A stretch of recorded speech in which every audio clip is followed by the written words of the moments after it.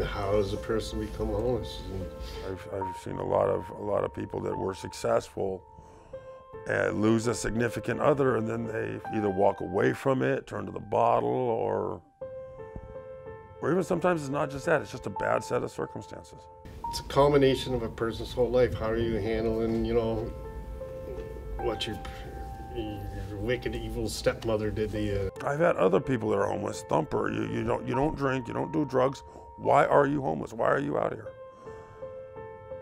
I just, you know, I, I, I, it just because it's just because I wasn't making enough.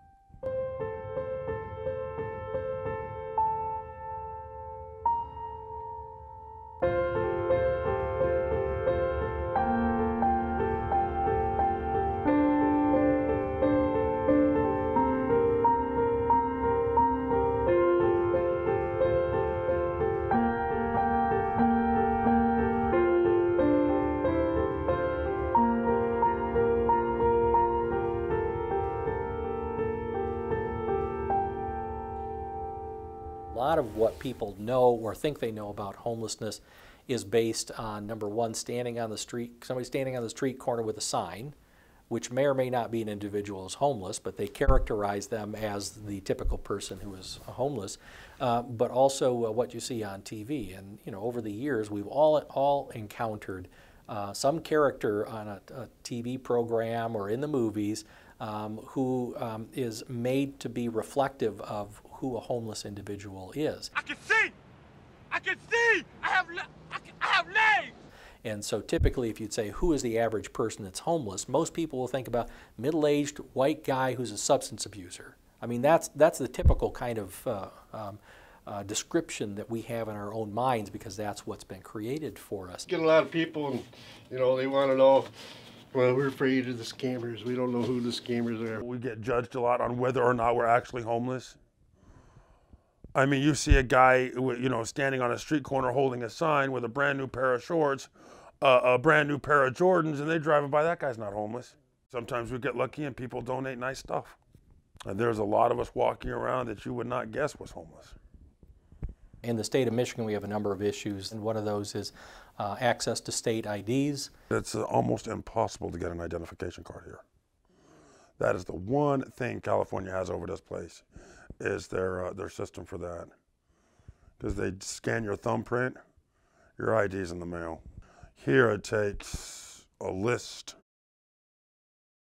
God help you if you don't have anything on that list because they will not give it to you. We're also looking at the criminalization of homelessness. Uh, there are a number of communities around the state that have uh, actually enacted ordinances uh, really to help um, address an issue of loitering, etc. And uh, it's uh, really, in our eyes, criminalizing homelessness, and the intent is just simply trying to move people from one area to another so that they're not seen. It gets maddening because it's like as soon as you get you get you get comfortable you got a cop telling you you got to go or you're going to go to jail. And it's like, okay, you won't let me camp here. You won't let me camp over here. Put me in a, bring, take me to a place that, I, that, it's, that you will not screw with me. Beyond that, we're looking at affordable housing and trying to establish policies that help to make affordable housing available throughout communities in the state. Once somebody asks me a question, they go, uh, um, would you rather blow your money than just pay rent somewhere? And I'm like, no, I can't pay rent anywhere, so I blow my money save money to get a place. And that's not going to happen because, like I said, I don't make enough monthly. So it doesn't matter what I come up with for a deposit, I'm not going to make them rent anyway. And there is enough abandoned homes in Lansing to give each homeless person six houses. Do I think homelessness will ever be ended? No, I do not. Because if it, if it could have been, it would have been. There are just not enough people that give a shit. They'd rather tear down houses for parking lots. You meet, you meet a lot of different types of people being homeless. And you talk to different people, they got all kinds of different backgrounds.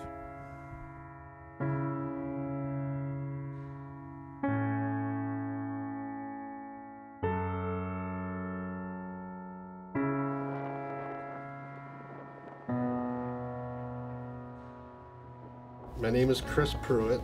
I'm 58 years old. I've been homeless here for seven years. I worked and lived at a church for four years, but they say that's still being homeless because you know, you don't own it and have to live there to have the job and stuff. And my signs I started doing because I wanted people to see a different side of homeless person, not just always begging and drunk and dirty and and passed out and going to the hospital. It shows some that people do have talents. I send my signs to a fellow in Texas at Southern Methodist University, and he does exhibits with homeless signs and around the country. He's even gone out of country, living in England and I think Australia once or something. But um, he's messaged me a couple weeks ago that he's writing a book. He's doing a book, What is Home? And he asked me to write an essay for him about what is home. The first thing instantly that I thought of was loud voices, curse words, bruises, and sometimes blood. The place where you pack up your memories and put them in the basement and forget about them, and where the thresholds of pain are tested. And the roof over your head is held ransom for good behavior. You're just afraid all the time.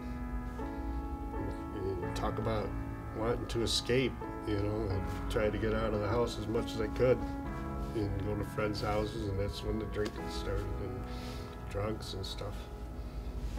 Some people have a lot more things to escape from than others.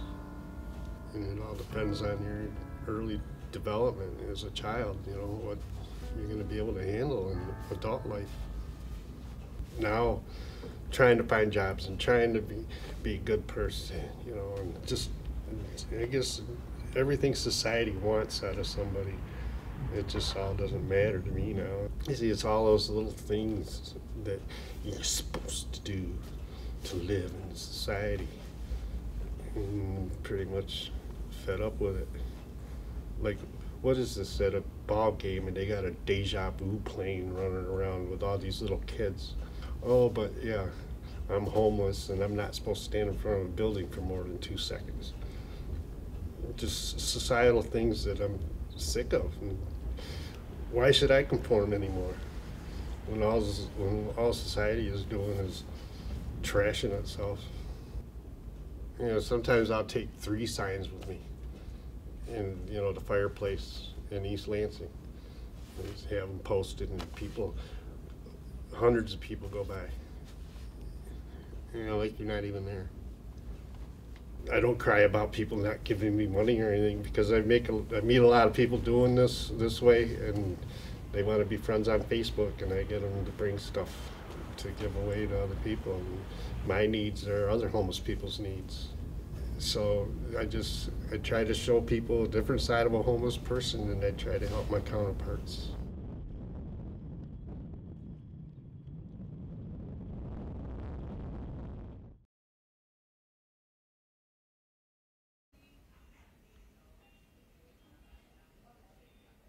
My name is Rebecca. I lived at Hannah's house for eight months total. I was pregnant for four of those months before Ava was born. I was married at a very young age, and it was just a marriage that was abusive, um, controlling, and I finally got out of that marriage. But in that process, I became a drinker a very heavy drinker. And I got myself into another relationship after my divorce that was a drunken relationship. And then I got pregnant. I had nowhere to go. Um, I was four months and I wasn't eating the way I was supposed to. I sleeping wherever I could. When I first moved in here, it was just more of a relief because I knew I had somewhere to sleep at night. But once I started um, really getting to know the the director, the house managers, the other residents, we just had this bond, and it made it more of a home. And then you didn't realize the things that you were learning and what they were trying to help you accomplish until honestly, I'm still learning that. I feel like I'm finally, after being gone here from over a year, I feel like I'm still, like I just actually got back on my feet. Um, but I do look back and this was, this is what helped me get to where I'm at right now. And I still talk to the house ma- one of the house managers, one of the uh, well the last director. We're still really close, you know, and they um, they're still very supportive. My boys are amazing. My oldest just turned 21 yesterday. Then I got an 18 year old and a 15 year old. Um, my two older boys are in school. They go to LCC. They're both working. And then my youngest, he's in high school. Plays football. He's doing great in school. Then I have Ava, my Hannah's house baby. She's a handful. She's two. And then I have a nine month old daughter. So it was it was just a big mess. But I I mean, obviously stopped drinking. I'm just right now focused on still trying to get my life together for all my children. I made it sound really, really bad and horrible, but you meet a lot of good people being homeless, and, and there's a lot of uh, there's a lot of aspects about it that are great. My first real sense of family was out being homeless, being homeless. There's no sense in being negative. I've learned that being negative gets you nowhere. When you be positive, you have positive outcomes. And that's just the way I look at things.